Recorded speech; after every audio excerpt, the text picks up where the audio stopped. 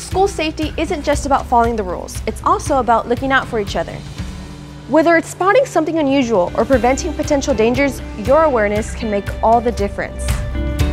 From reporting any suspicious activity to ensuring the safety in our classrooms and hallways, health and safety is a shared responsibility.